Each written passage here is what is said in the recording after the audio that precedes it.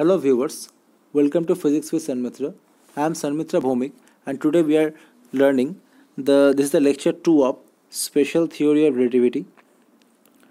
Special theory of relativity and this is a very basic or very introductory lecture on STR that is the special theory of relativity and we are just discussing the basic points and we'll just show you how things are turning up.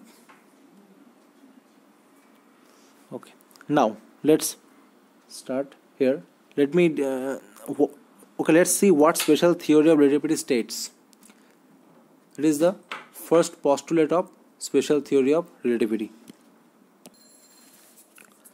so postulates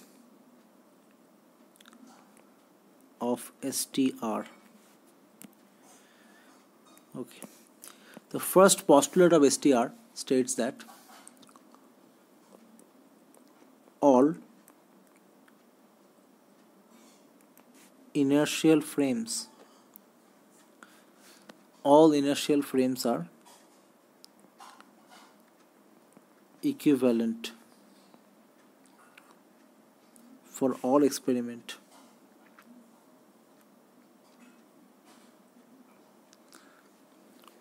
All the inertial frames are equivalent for all experiment. No experiment can measure absolute velocity. This actually means that all uniform motions are relative. That means everything is relative to each other. There is nothing such as absolute to each other. But the second postulate says something else. The second postulate says that Maxwell's equation Maxwell's equation and speed of light and speed of light must be same for all observer.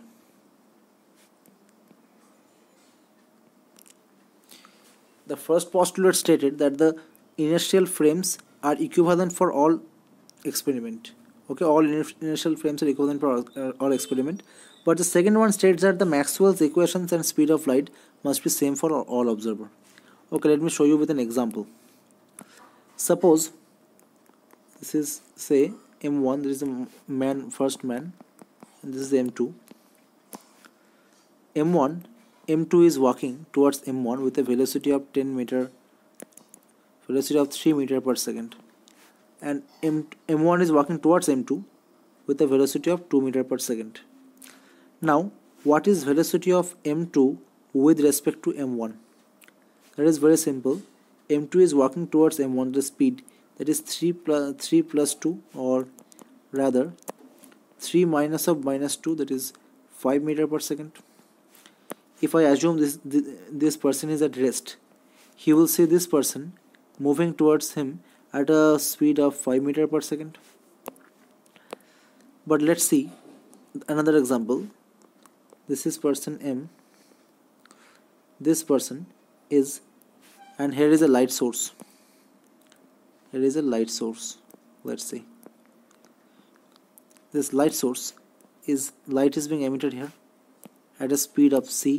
C is 3 into 10 to the power almost 8 meter per second there is actually 2.997 but we are not we are just assuming c. Now this person is moving towards the light source at a velocity of v. So what is the now i am i need to find this is the velocity of light velocity of vl with respect to this man. So according to the laws of classical physics what we can do is that we can do c minus of minus v that is c plus v but actually that is not true. Velocity of light with respect to man that is also c. So the speed of light is independent of the frame.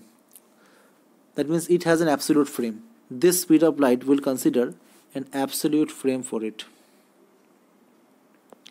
Will consider an absolute frame for this. So we will not apply the relative frame. Now I think this much is clear speed of uh, the special theory of relativity STR abolishes the idea of absolute space. We'll understand this thing later when we learn time dilation and length contraction. Absolute space, but leaves the origin of inertial frame unexplained. That means it is telling that all it is telling that all inertial frames are equivalent for all experiment, but it is not explaining how these inertial frames are coming. That it is leaving the origin of inertial frames unexplained. Okay, so that's all for this video. And if you like our content, then please subscribe to our channel and click on the bell icon. Thank you.